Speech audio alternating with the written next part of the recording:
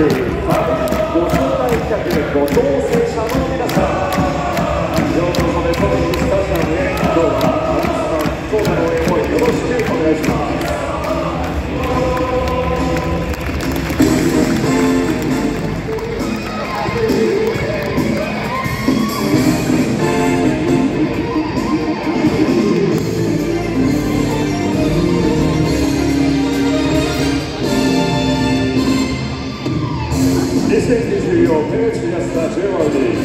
ドソシ応援でアビスタ福岡対サンフレッシュ広島。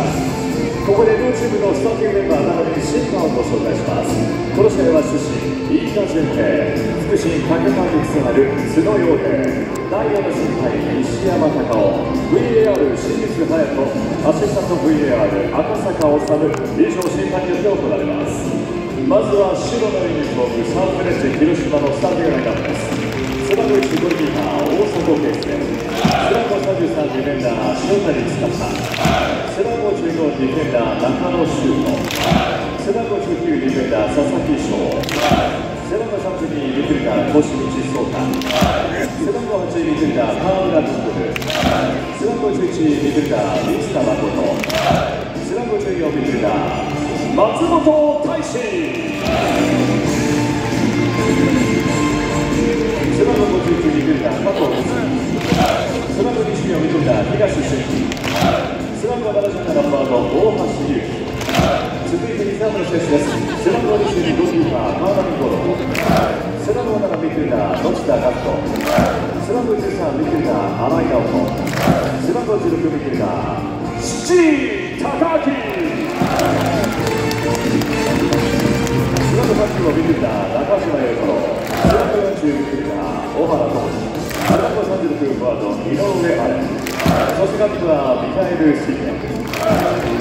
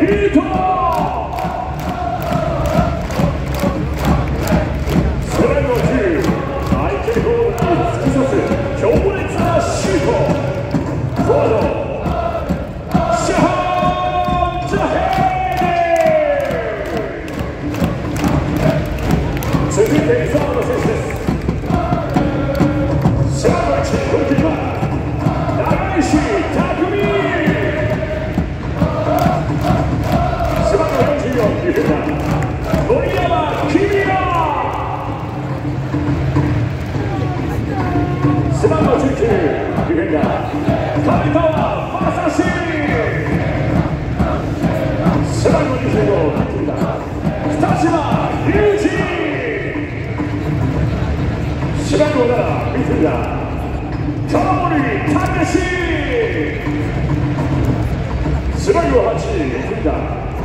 今野也。17フード。ウェリト。さあ声をはり上げの思いを届けろ。背番号12ナビスマ福岡サポータ